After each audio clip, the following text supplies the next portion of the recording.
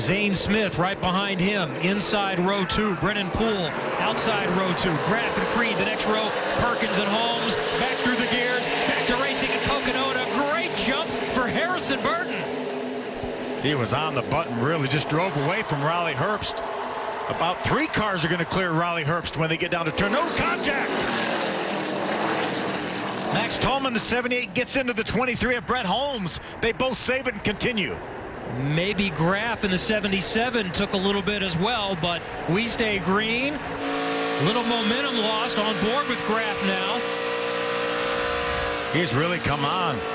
Struggled a little bit at the start of the race. Chad Bryant, Paul Andrews, and the guys really tuned him up on his pit stop, and he's been running up in the top 10 here.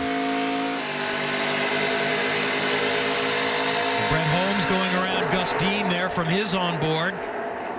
And here's Brennan Poole up to Ooh. second and a big crash back behind. Leilani Munter is one of them in the Vegan Strong number 20. Mrakovich in the 11 is involved.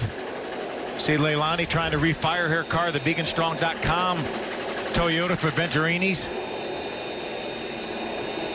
She's going to undo the window net. I don't think she can get it started. Looked like quite a bit of damage to that car. Yeah, you can see the the damage to the front end there. And there's still one other we have not ID'd between the 11 and the 20. So four cars at least are involved. Is that the Ed Pompa and the 10? It is the 10 yeah, car see the right double there. H Ranch. That's Ed Pompa's car. So you can see Ed moving around inside the car, inside the cockpit of that car.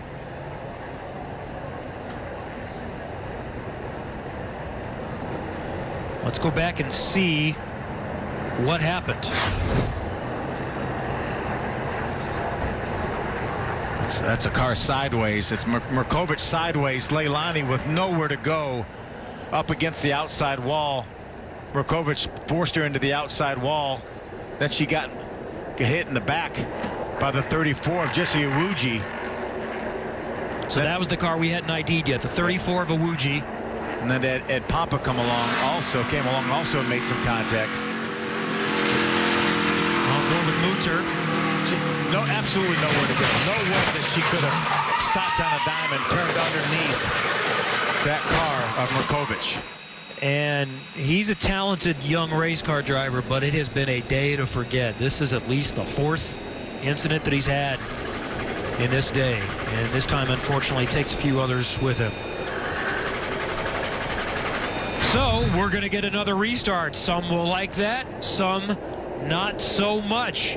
Harrison Burton, Brennan Poole, Sheldon Creed up to third, Riley Herbst, Zane Smith. That's the top five in the ARCA Racing Series presented by Menards from Pocono.